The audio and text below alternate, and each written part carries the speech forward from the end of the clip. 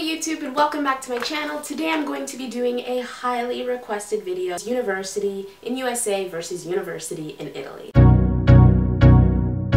Would say that getting into an American university is really, really difficult because you are evaluated on so many different things aside from your grade. You're evaluated on how much volunteer work you did, you're evaluated on how many extracurriculars you did, how many languages you speak, you're even evaluated on how much money you have. An American college is essentially a business. They don't need just smart kids, but they need athletes that are going to pack these stadiums and make them money. They need more international students and kids from other backgrounds so they can look diverse and receive more federal funding and receive higher rankings internationally. So American colleges are looking at many different things when they're looking at their candidates and it makes getting into an American college way more competitive and way more difficult. But once you get into an American college, you're pretty much set. Like you have so much support in an American college aside from extraordinary circumstances like I don't know, maybe family issues or monetary issues. You don't leave American university because it's too hard or you don't have support. On the other hand, Italian universities and I think European universities in general are pretty easy to get into. If you have good grades and you pass the admissions test, you're gonna get it. In America, you can have a 4.0 and still not get into the colleges that you wanted to get into. But once you get into these European schools, there's no um, academic advisor. There's not structure the way there is in American university. There's not going to be all these resources that are going to be pushing you to do well and all of these extra things that you can do to pack up your grade and do well. It's really difficult to graduate on time in an Italian university. Most Italian universities, although the basic bachelor's degree is three years. The average of completing a three-year program is four years. Cost. Of course, cost is a huge difference between American and Italian universities. American universities can range anywhere from $20,000 upwards to $60,000 a year, not including room and board. We Americans grew up with this mentality that that's just the way it is. Our parents had to pay student loans. Student loans are just a way of American life. What we don't realize is that the cost of tuition has gone up something like 500% in the last 20 years. Our parents were paying like $20,000 for their whole degree. You could work during school and still pay off your whole degree. Nowadays, that's impossible. Which is all the guidance counselors in high school and all the parents tell you, just do it, just do it, it's worth it. You can't let money stop you from not from going to school. That's why you see Americans signing up for $60,000 a year loans. It's because you just, it just seems like that's the thing you have to do. Where in Europe, it's different. People think that education is a right, not a privilege of the rich, and so you have that European universities in some European countries are even free to foreigners and citizens. Italy, the university is not free, but it's still quite affordable. The maximum I've ever seen for a public university is maybe 2,000 euros a year. The most expensive school in Italy just happens to be the one that I go to. The full price of it is around $15,000 a year, but another thing with Italian universities is you actually pay tuition based on how much money your family makes. And there are four income brackets. If you're in the lowest income bracket, you don't pay $15,000 a year, you pay like $5,000 or $6,000 a year. Like America, they have scholarships and stuff to give out. They just don't have as many scholarships to give out in, as in America because the costs are not as high. It's much more easier to pay $5,000 a year than it is to pay $60,000 a year. America, you will have so many scholarships, so many financial aid opportunities, but it really doesn't put a dent into how much education is going to cost. I got into one school and they were willing to give me like $20,000 worth of loans and I'd only be paying $3,000 a year, but that's still $20,000 of loans that I'd have to pay back later. Another one that gave me a lot of scholarships, but I'd still have to end up paying $12,000 out of pocket. If you if you get really good grades and you don't have a lot of money, you're still gonna get a big discount from that 60,000, 40,000 tuition bill, but it's still not anywhere near as affordable as going to school in Europe. Um, grading in Italy is on a 30 point scale and grading in America is on a four point scale. You have a GPA that's either it's anywhere from 0 to 4.0 and in Italy you can have anywhere from well not you can't have a zero GPA. You have to have a minimum of third of 18. And you have to have a minimum in the American one too, but I can't remember what it is. I feel like in America, it's a lot easier to get an A, A minus than it is to get a 30 in, in Italy. 30s are rarely given out. People don't graduate from university with 30 GPAs. Um, Yeah, so it's really hard to compare the two scales. Here, if you see somebody with a 29, 28 GPA in Italy, then you can see that's like a 4.0. If you see somebody with a 30, they're a genius and not in any way the norm. Not to diminish American grades because it's still, you still have to work, but to get a 3.8, 3.9, graduate with a 4.0 is much more common in America. Because in America, you're graded a lot on your effort. Exams, assignments, presentations, even attending class or participating in class. So really, if you do, if you put in the effort to do your assignments, your presentations, participate in class, you can still bomb the exam and end with a good grade. In Italy, that's unheard of. In Italy, your grade is one thing and one thing only. It's your exam one exam. There's a few different ways to do said exam. It's either you know the stuff or you don't know the stuff. It's either you pass or you fail. Which also leads me into the method. In America, there's a lot of practice. When you go to a lecture in America, there's always different ways of doing it. You can have a lecture which is not just the professor reading off of slides to you, but it's a conversation between the professor and the students. They're gonna ask you questions to check your knowledge in the middle of class. That doesn't happen in Italy. In America, you'll have a chapter, right?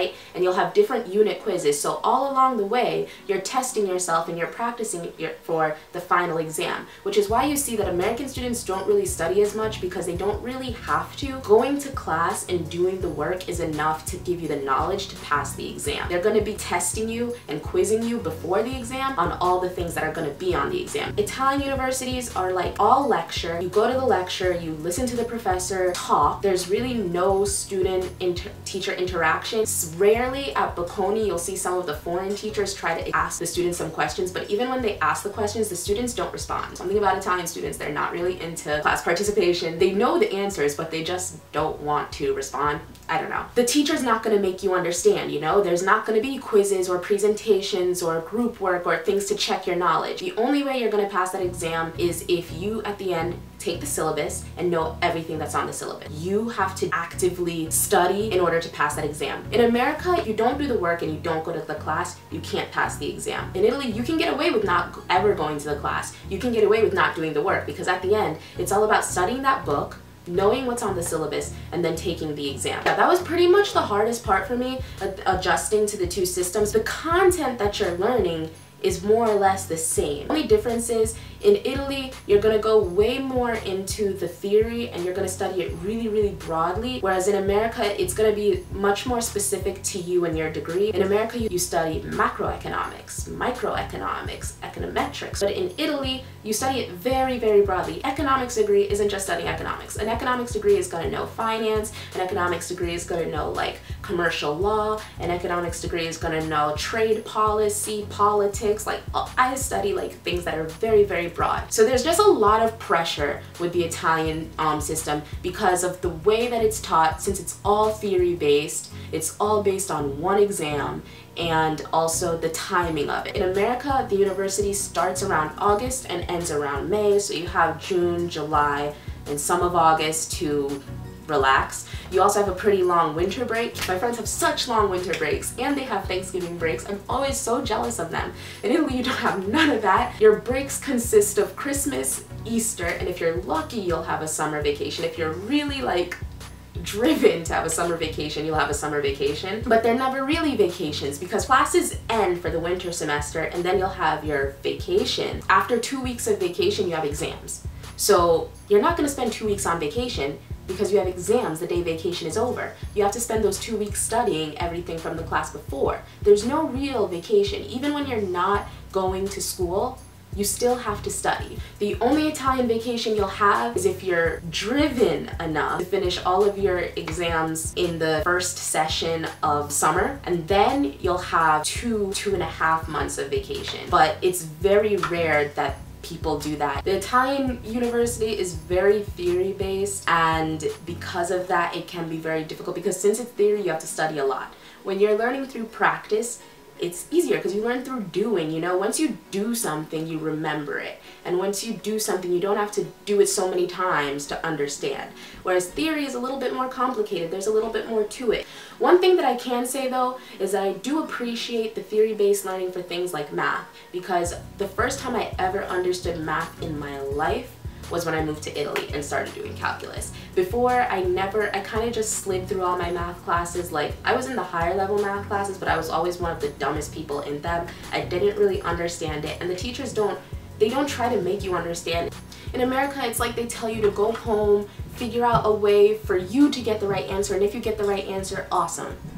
You know, there's a million ways to do math, they say, and if you just find one of them that works for you, do it.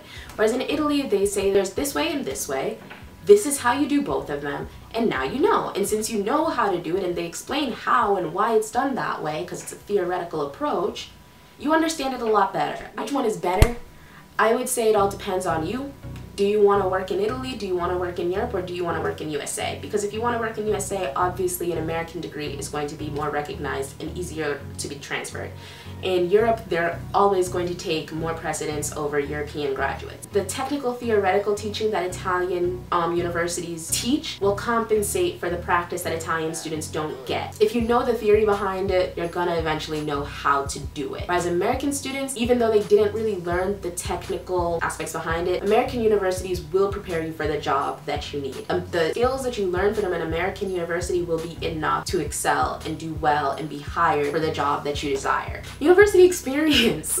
I almost forgot university experience. Italian university is school. American university is a lifestyle. American university isn't just going to class. American university encompasses your whole four years. You wake up, you go to the university gym or the university cafe. When you live on a college campus, it's like living in a little town full of college students and everything is sponsored by and owned by the university. The college experience in America is college life.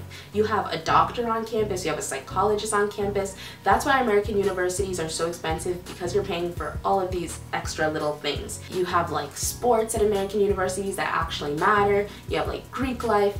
None of that is there at Italian universities or other European universities. Italian university, you wake up, you go to lectures, and after lectures you come home. It's a lot like high school actually. That being said, I live on my own in Italy. I live in an apartment, I pay the same kind of bills that any Italian would pay. I have to buy my own groceries, cook my own food. You get a lot of independence from an Italian university even though it might not seem like that. Whereas at American University, you're on like meal plans, you're not really doing your own shopping, are you? And you're living in a dorm that's regulated by the school, so it's not really living on your own. You're not really paying bills month to month, you're not really, you know?